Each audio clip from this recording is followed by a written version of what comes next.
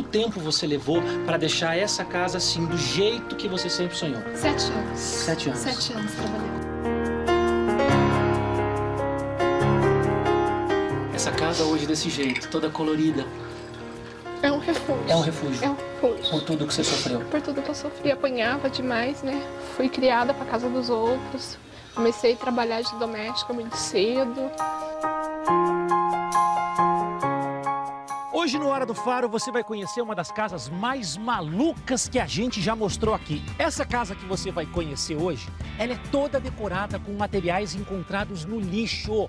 Imagina uma casa inteira cor-de-rosa, praticamente a casa da Barbie. Ou misturada com azul, praticamente a casa da princesa Elsa. Pois é, tudo isso misturado, rosa, azul e zebra. Pois é, gente.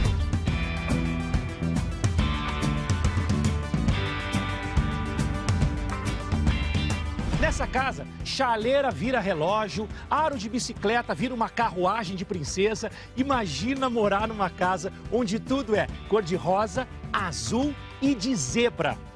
Pois é, gente, essa casa existe, fica no interior do Paraná, na cidade de Arapoti, e é pra lá que eu tô indo agora. Você vai adorar, uma das casas mais malucas que você já viu na sua vida. Vamos pra lá? Então, bora! Sete anos atrás surgiu a ideia de ter uma casa de boneca. Diferente de tudo que, tipo assim, do mundo real. Sou apaixonada por pink. E não existe geladeira pink. Então, eu coloquei a geladeira para fora e pintei a geladeira de pink.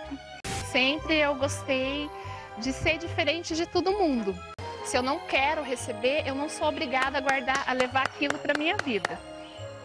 Oi,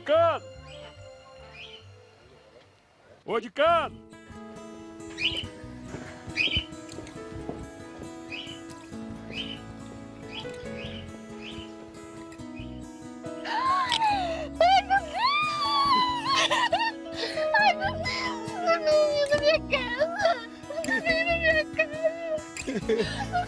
O menino da minha casa! Eu vi, eu vi. O menino da minha casa! Você é real! Eu sou, pode ver. E você também é real. Da minha casa!